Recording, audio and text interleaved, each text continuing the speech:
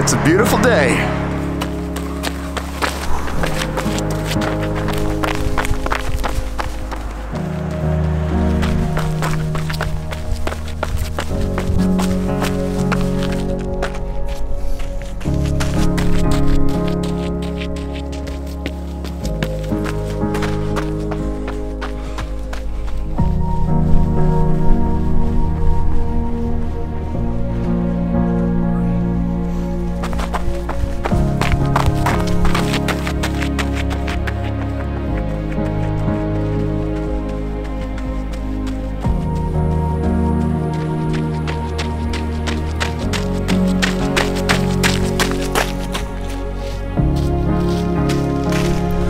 Time to go to my thinking trees. Here we go.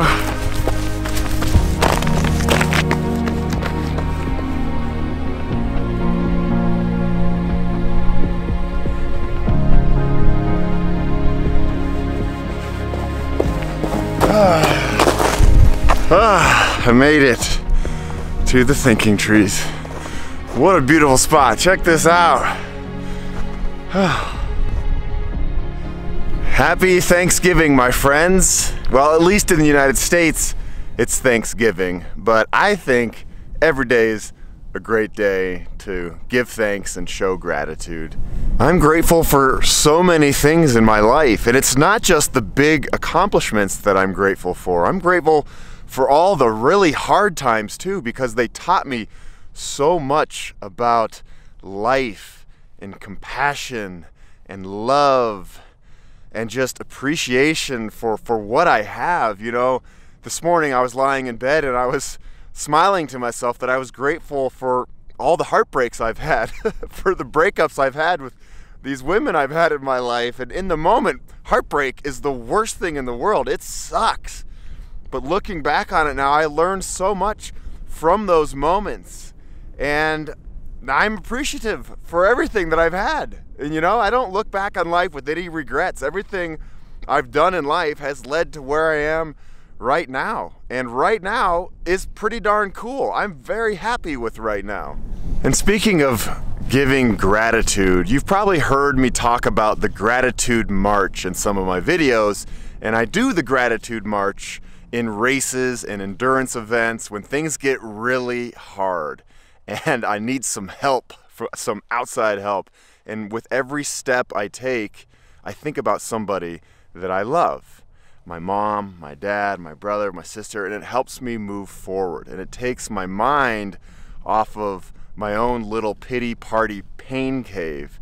And it just fills my heart up with a little bit of with love and that's what helps me keep going forward in races and I've been thinking recently that you know the gratitude march doesn't just have to be done when things are hard it's something we should do every day or at least I want to do it every day where whatever I'm doing throughout you know my normal boring old day I stop and just appreciate life and family and friends and community and my healthy body and nature and flowers and clouds. I mean, it's it's endless what we can be grateful for, right?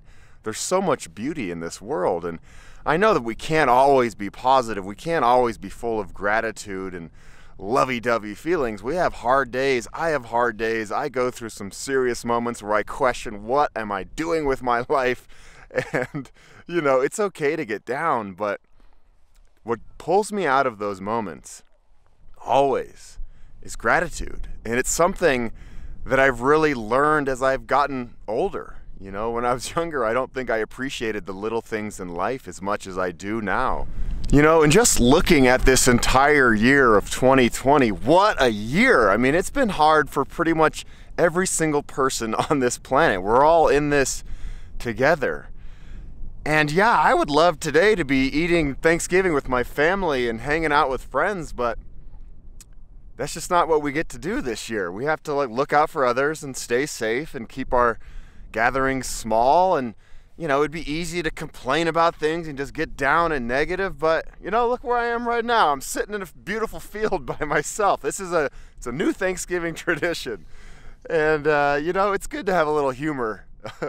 it's definitely gotten me through 2020 for sure. And another thing that's really gotten me through 2020 is you all of you out there, I can't thank you enough for watching my videos, for supporting my channel. It really is a dream come true to be able to share stories for a living. You know, this YouTube dream that I had like five years ago is now coming true. I am making a living making YouTube videos and sharing stories and inspiring people and, you know, paying my bills and buying burritos with YouTube money. I mean, that is as cool as it gets. And when I first started on this journey, I didn't know if it was to work. You know, I worked in the TV world for 10 years before this, and I had some success, but it was really hard. The entertainment industry is very fickle and you just you don't have any control over anything. And when I started YouTube, I was like, I'm going to build a channel big enough to the point where I'm going to make a living making videos. And my first videos didn't get any views for about a year. And I was like, "Oh god, what am I going to do now? Get another job? Maybe, who knows?" But I'm so grateful that it's all working out and that has a huge that it has everything to do with you. Like it doesn't happen without you. If nobody watches my videos, I don't make a living, and uh, then I probably would just you know stop making videos. So thank you all so much for being part of all this, and uh, it's it's a great honor to share these stories with you, and I can I hope to do it for many many many many many many years and you know me, I'm always going to be smiling along the way and hopefully bringing some smiles to your faces. And if I could reach through this screen right here, I'd give you all a big hug right now. A COVID safe hug, of course. And uh, yeah, I hope you all have a wonderful day wherever you are in the world. If you're in the United States, happy Thanksgiving. If you're somewhere else, like, you know, Australia, g'day. I need to go to Australia one of these days. Anyway, I love you all. Have a great day. And uh, we'll see you down the road for another adventure.